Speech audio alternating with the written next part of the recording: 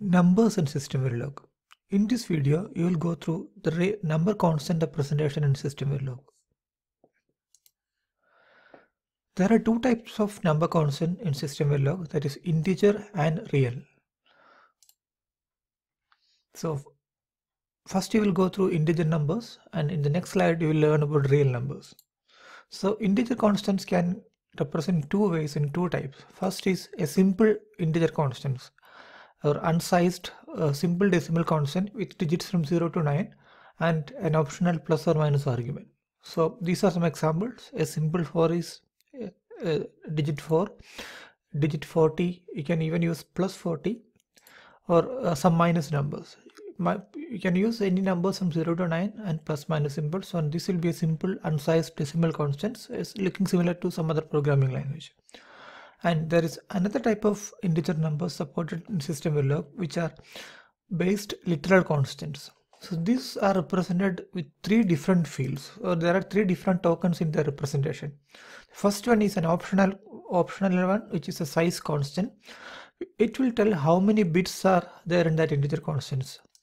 And next one is an apostrophe character this character then followed by a base formatting character. So this base formatting character will tell whether it is a decimal number hexadecimal number octal number or binary number. So you need to use d for decimal b for binary h for hexadecimal and o for octal.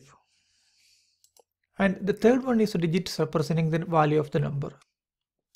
Now let's look at some example. So here 4d5 so this represent a 5 the number 5 so it's represented in base literal constant uh, way. So the first one is the size size constant. It says there should be four bits in this constant. And second one is an apostrophe character followed by a base format character. So an apostrophe for, followed by d represents this, this one is a decimal number. So and third one is a digit representing the values number. That is 5 so this is decimal 5 in 4 uh, in 4 bits so this is again equivalent to a hexadecimal 5 because decimal 5 and hexadecimal 5 are equal. So this is equal to a hexadecimal 5 for tick h5 and if you are representing it binary you can represent it like 4 tick b 0101 so all these are same numbers. The number 5 represented in different formats. If you again in um, system log, any negative number is represented by using 2's complement so also you can uh, write a negative symbol before the number uh, to say that it's a negative number. So say for example negative 4d5 represent a negative 5 which is equal to the 2's complement of decimal 5 held in 4 bits. So that is important. When you go go when you take the uh, the 2's complement of a number it really it's really important that how many bits are there. So so it represent minus 4 d5 represent the negative 5 which is equal to 2's complement of decimal 5 in 4 bits which is equal to 1011 also you can write a num number as negative by uh, adding an s to this um, format character. So it says it says a uh, 2's complement format. So 4 tick sd5 is equal to 2's complement of decimal 5 held in 4 bits which is equal to this value now also remember that it's valid to use an underscore anywhere in, in integer numbers except at the beginning. So here are some examples. So you can uh, just to write simple decimal say 456 you can write it like 4 underscore 56 or 45 underscore 6 everything is valid but only thing is we can't use at the beginning of the number.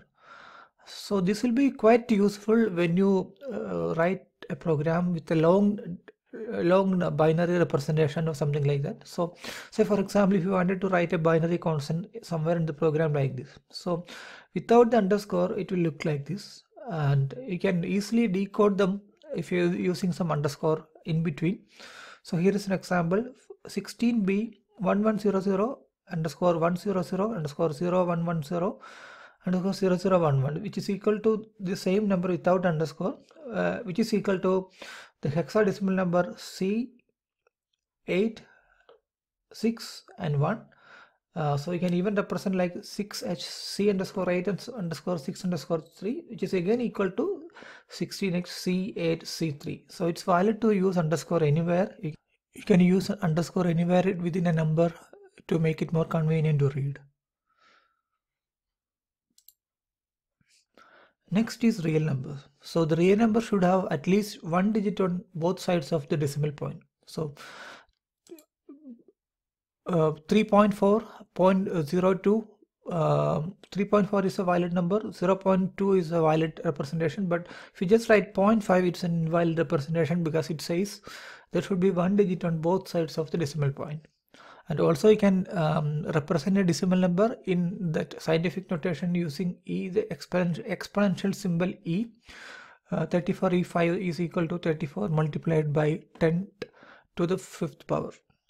But uh, real numbers are not commonly used uh, in uh, system verilog test bench programming in most of the cases.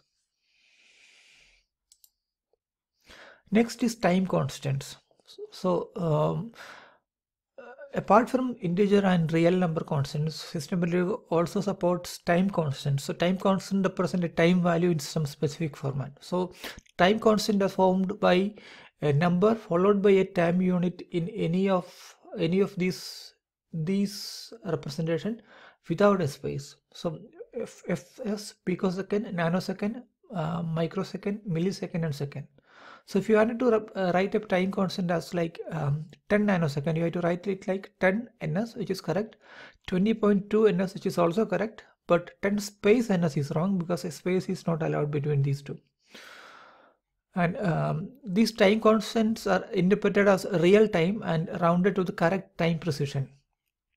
Um, so here you can in any simulation you can set the time constant and the basic time unit and time precision in the simulation. And if you use a time constant representation like this although all of them will be uh, approximated to rounded to the correct the current time precision unit as you have described in the simulation